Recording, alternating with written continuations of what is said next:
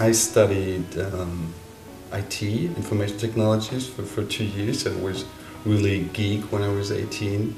I think that's still part of it. I started painting for, for five years with more hyper-realistic or photorealism, um, photorealistic works, and now I find a way for me to push it in something in between realism and abstraction. I'm still pretty photo-based, but I like it when it works in the end like an abstract painting, or it is in the end an abstract painting, but I'm still using a lot of material, computer, everything that I can get, but it's not uh, a painted photo in the end. It's something new, developed.